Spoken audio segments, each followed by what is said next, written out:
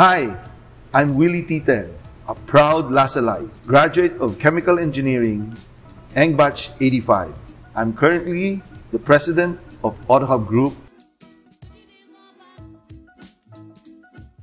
Please like my video and uh, subscribe to Animo Magazine.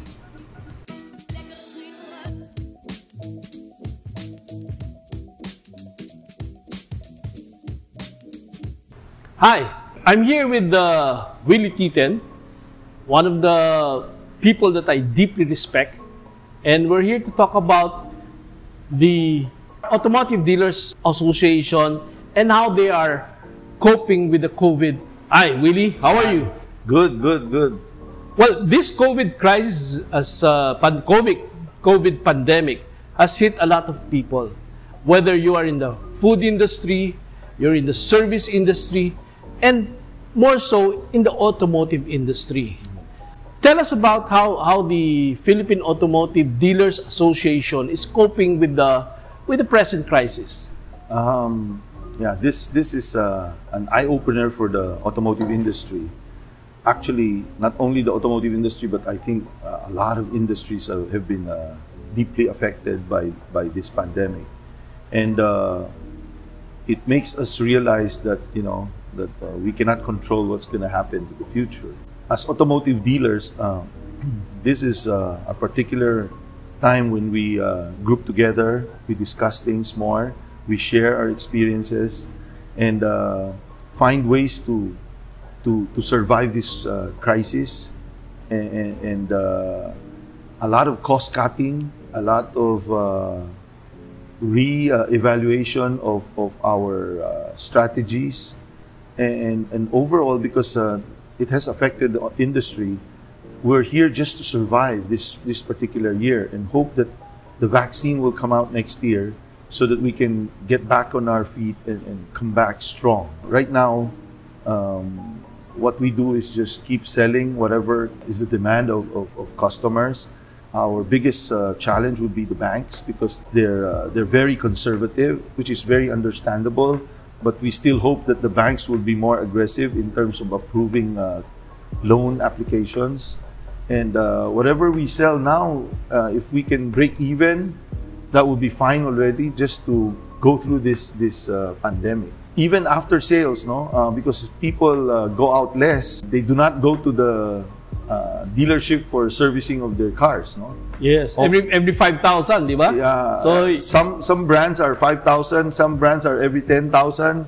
So sobrang konti lang ang nagpapa-service right now because uh, actually it's every 10,000 or 6 months but you know we're still educating the Filipinos that it's not just the mileage it's also the time even if you don't use the car you need to have it serviced every 6 months no because quality will go down even if you don't use the the vehicle so we had to uh, re-educate our customers and tell them that you, you still need to bring your car to the dealership even if you don't use it. Uh, as far as car sales is concerned, uh, if you notice, there's a lot of sale right now because the inventory is quite high and, and uh, inventory cost is very, very expensive, not only interest of money but also warehouse space. So, so everything is a domino effect, no?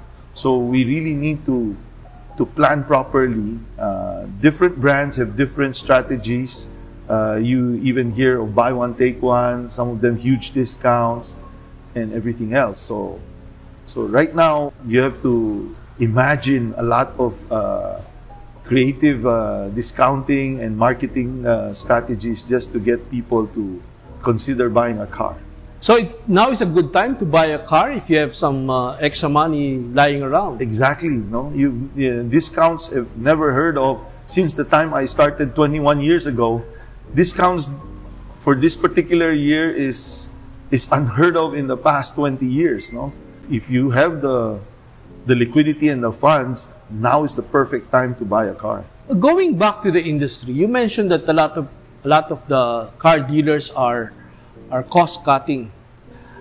Has there been some dealership that have totally closed their branches? Yes, unfortunately, there are dealers who have closed, uh, and and uh, and some of them are even the big players, uh, not because they they're gonna go bankrupt, but because they felt that the, pandemic is gonna last, and some of them uh, feel that it doesn't make sense to to have so many branches, so they reduce the number of dealerships because a lot of uh, transactions now are online.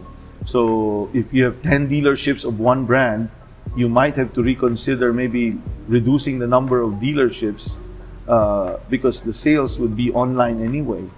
Less people come to the showroom. More, more and more people are now going online. Now let's let's talk about briefly about AutoHub. AutoHub is like a flagship company that has a lot of brands. Can you tell our our viewers what are the brands that uh, AutoHub carry? Oh, thank you for those nice words, Albert. Uh, um, AutoHub is a, a, a group of, of, different brands, no? Uh, as you say, multi-brand dealer de- dealer group, and uh, we have uh, brands from the highest end to the lowest end. No, we have distributorships as well as dealerships as well.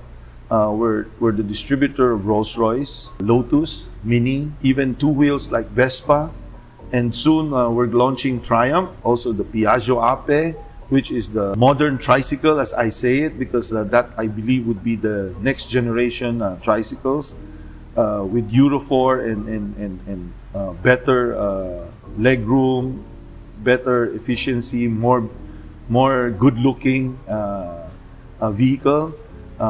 we also have dealerships like Ford, Nissan, Hyundai, Mazda, and, and of course, uh, Foton, and other Chinese brands like Geely, MG, Chery, and soon Chang'an, and, and, and many more brands. No? Uh, and aside from the, the, the, the, different brands that we have, we also have uh, allied services related to the automotive industry. We have our Next Hub, which uh, repairs uh, cars, uh, especially those who do not bring their cars to the dealerships anymore, uh, the older cars, we can service them as well through our next hub.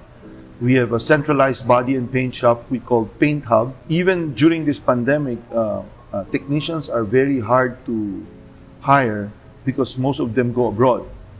So we have our own school, which we call the AutoHub Institute of Technology or AIT we're getting a lot of students now and training them for the future. Uh, that's nice. I never heard about that AIT. Yeah. So how do you qualify?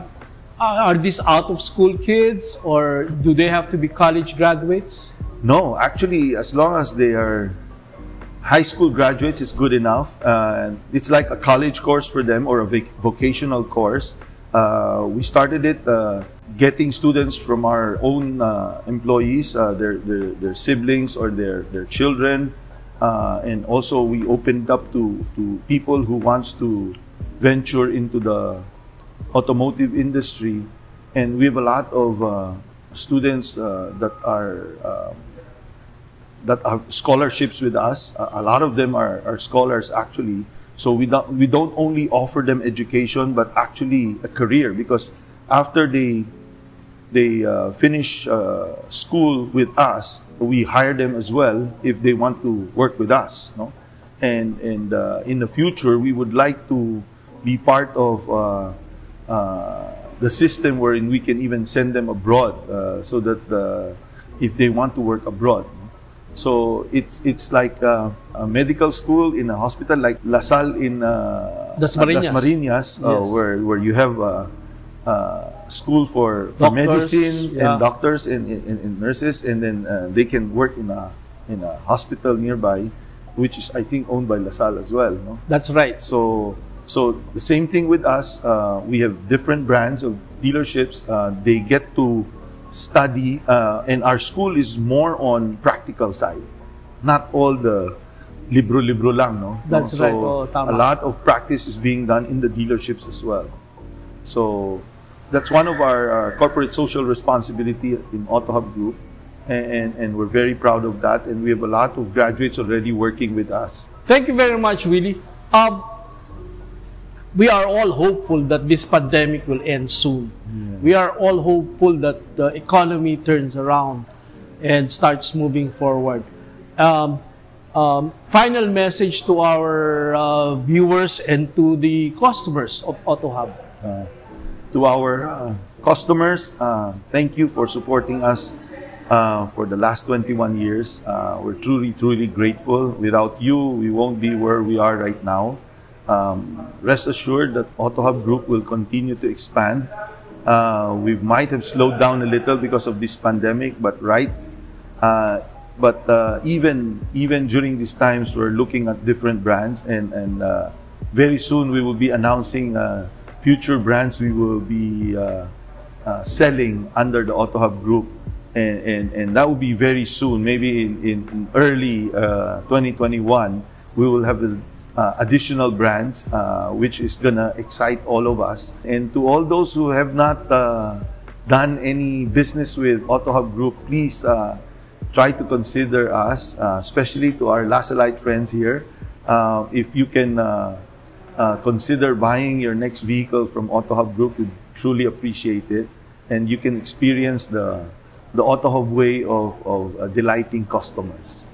So uh, again, Albert, thank you so much for for. Thank you, man. Thank you. Animo La Salle. Animo La Salle. and, and uh, thank you, and and uh, I hope uh, everybody is safe, and uh, let's hope the vaccine comes out very soon. Even if it's the new normal, everybody goes back to business, and everybody would would uh, would be uh, very uh, vibrant and happy again. Thank you.